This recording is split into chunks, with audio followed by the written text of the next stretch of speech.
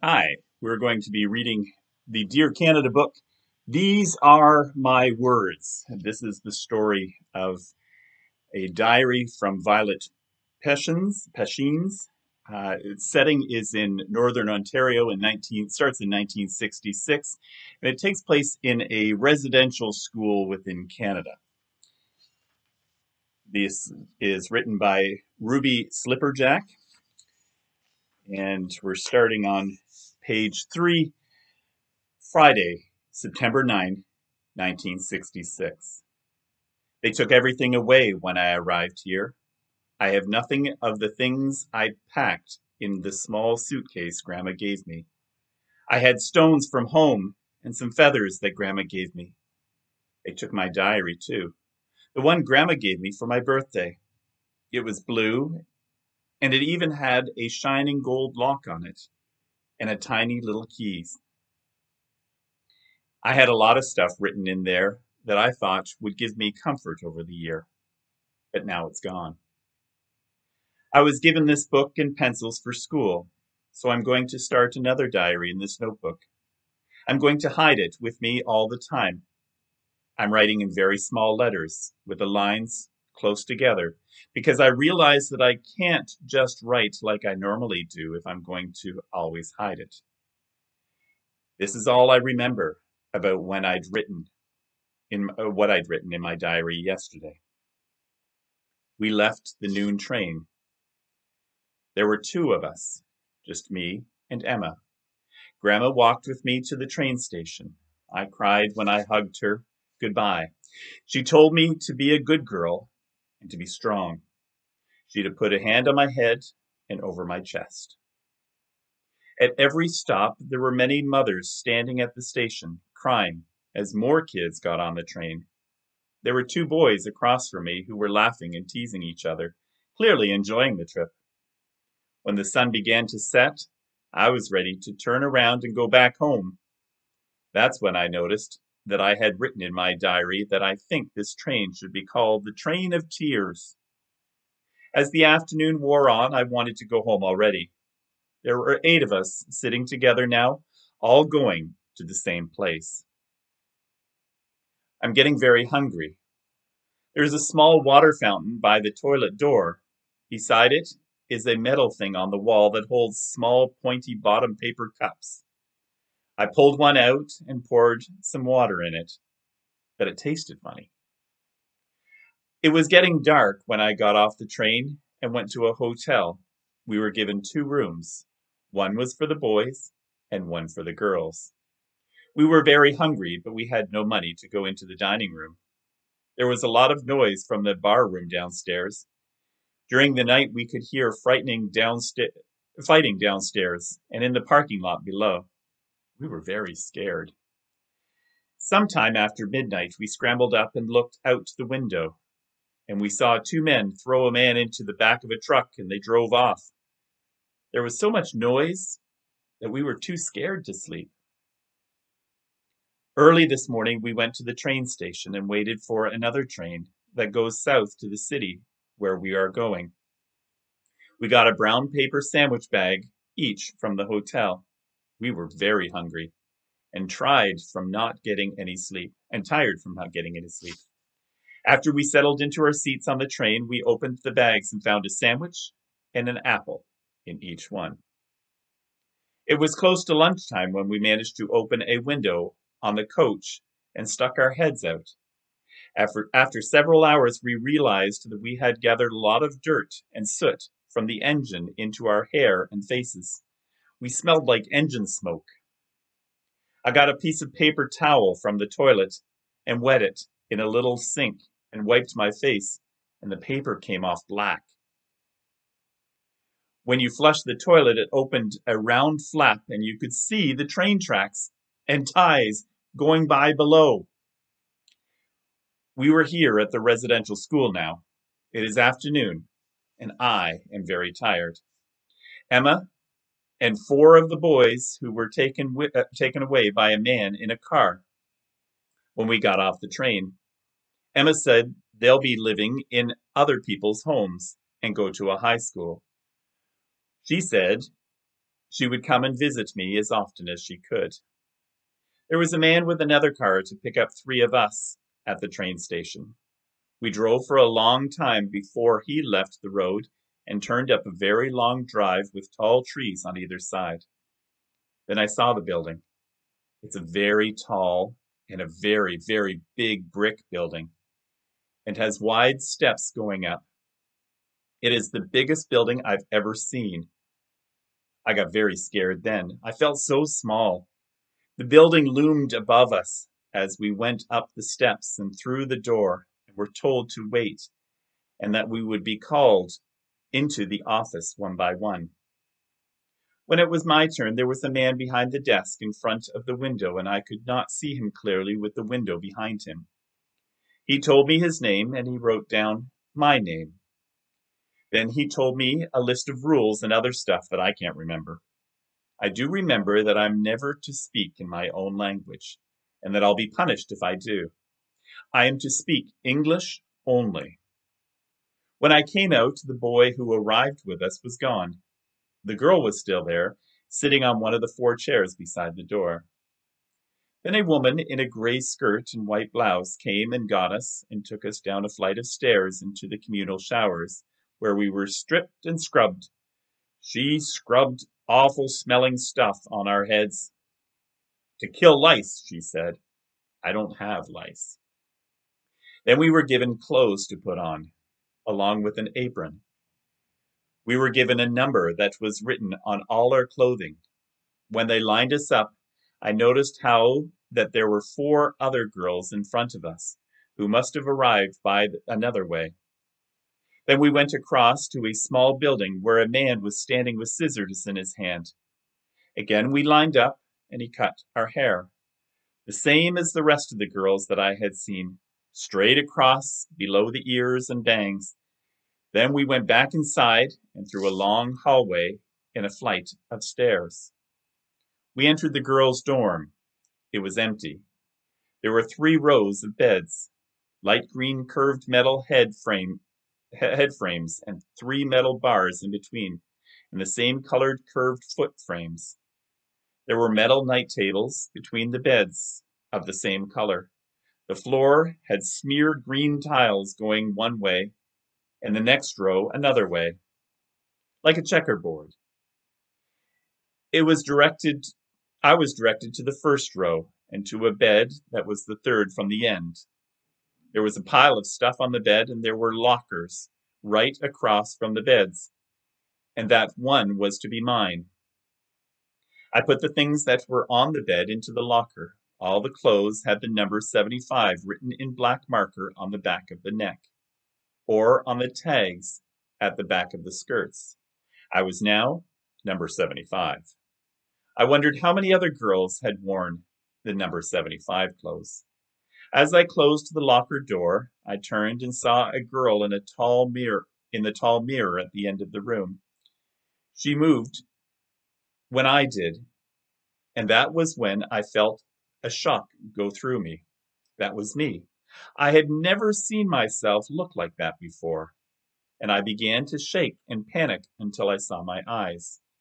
They were my mother's eyes looking back at me.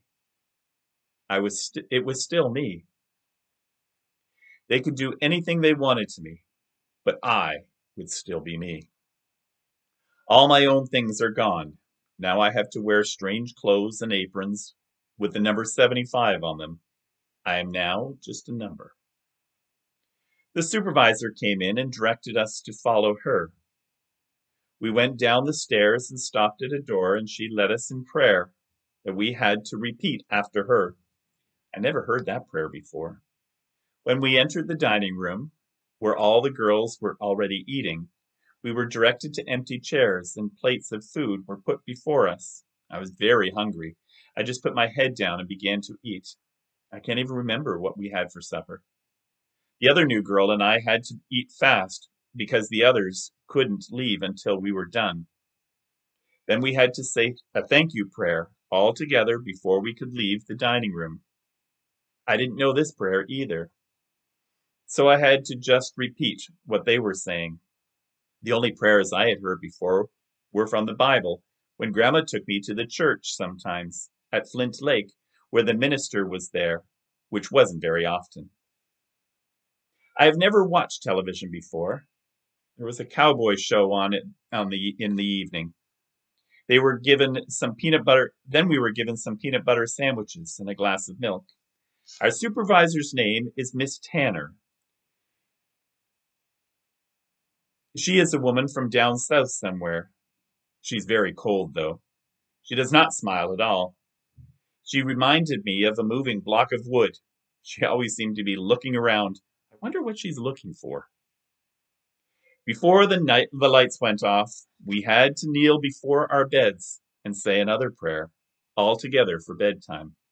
Again, we just have to say the same thing at the same time. Saturday, September 10th. After the waking bell rang, we all had to kneel by our beds for the morning prayer, and then we quickly had to make our beds before going into the washroom to wash and comb our hair and brush our teeth. Miss Tanner showed me how to make my bed that this morning. Tuck in the bottom sheet at the bottom and at the top. Lift the corners and tuck, and then tuck in the middle. She ripped off my first try, and then I got it right the second time. It's like making a letter envelope. The top is much the same. It has just a top sheet and a bed cover with the top folded over the pillow. We have to make our beds like that every morning so that all our beds look the same. The bathroom sink is thick, round, green stone circle thing. You step on the bottom metal circle ring, and water sprays from the top mushroom like thing.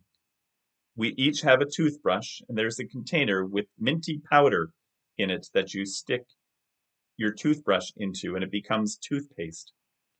There are four toilet stalls by the wall. The doors and sides are about a foot from the floor, so you can see the girls' feet when they go in. You can also look over the top if you stand on the toilet seat. I saw one girl do that, eh, one of the girls do that. She must have been looking for someone. I have an apron that I really like. I've never had one before. It has a white background with tiny yellow flowers and it has a gold-colored trim around the collar and pockets, with ruffles around the sleeve straps and around the bottom. It's really pretty. We have to wear white blouses and skirts and thick beige stockings. Sunday, September 11. I forgot to mention that the boys all come into the dining room from another door, and they all sit on one side of the room, and we are not allowed to talk to them. It's just now occurred to me how much trouble I'll be in if someone finds this diary. If someone sees me, they will certainly take it away from me. I have to be very careful. I'm thinking that it would be something I would read to Grandma when I get home to let her know what this place is like. Reading to her would be better than just giving it to her to read. I feel like we are kind of on this adventure together. I don't think I'd want my mother to see what I am writing, though, just in case my half brother and half sister end up in a place like this too. It would also remind her of the years that she spent in another residential school when she was growing up. I'm thinking too much, I think. I'm learning very quickly just to follow what the other girls are doing. It's sometimes it's if someone's not quite moving in the same direction at the same time, everyone stops and they glare at her. That was what they did to the other new girl beside me. So far, I've managed to keep up with what was happening. It reminds me of soldiers that I once saw in a book, all looking the same and all doing the same things at the same time. Even our dorm looks like an army barracks. Before the lights go off, we have to say the night prayer all together for bedtime again. The prayer before meals is different from the after meals prayer, and the bedtime prayer is also different. But we say them over and over again every day. I keep getting them mixed up every yeah, I kept getting them mixed up yesterday. This morning We had to pin little round lacy things to the tops of our heads and then walk in single file through a bush path. We walked through the bush slowly, and it was so nice. Suddenly, one of the older girls tugged at my sweater. She had two new girls with her. She gestured for me to follow them. We ducked behind some bushes, and she led us to a place where there were boulders jutting up from the ground. She said that we were not to forget this place because each new girl is told of this place. There are residential school children buried there, she said. Then she told us it is now our duty to tell new girls of this place. I didn't see anything anywhere. Then she turned and ran to catch up with the other girls. We looked at each other and we ran to catch up too. The branches were still hanging on to the wide variety of leaves and bright colors of orange and yellow. It reminded me of home, and I wished I could stay in the bush for a, for a while. But I just took deep breaths and walked one foot in front of the other. It didn't smell the same, though. There were many different trees and bushes that I didn't recognize. We finally came to a clearing, and there was a small church. We went in line and sat in the rows at the back of the church. We had to get up and sit down several times. It took it looked funny with all those people bobbing up and down together. I put my head down quick when I realized that I was smiling. I can't even remember what the white gowned man with the ribbon stripe over his chest up front was saying. I was busy watching the white people, who largely ignored us, and I was admiring the different colors of glass on the pictures in the windows. That was a boring long time in there. I kept thinking about the burial spot of the girl showed us. I didn't see anything at all. Most graves I had seen had a mound or a cross or something. Maybe she was just pulling a, a joke on us. This church is very fancy, not like the one at Flint Lake. I remember that I went in once when the bell bell rang as I was walking by on the way home to Grandma's and it had a picture of Jesus beside the door, and there were benches on each side of the aisle, and at the front was a table with a fancy cover that reached the floor, and it had a cross on it. There was a little bench on the side where the minister knelt. I don't remember much about what the minister said. He couldn't sing either. And the women sang from the Cree hymn books they were using. That was so funny. Mom and my stepfather, Izzy, I, um, I like that a lot better than his real name, Ezekiel, never went to church on the reserve. I never thought to ask why. We each have jobs to do.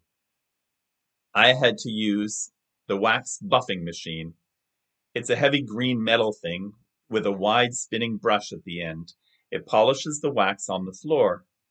I was told to plug it in, turn the switch up, and go over the whole floor with it. Oh, I nearly knocked me, it nearly knocked me off my feet when I first turned it on.